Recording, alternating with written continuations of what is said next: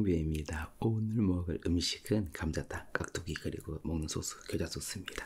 저 창비를 잊지 말아 주시고요. 맛있게 먹겠습니다.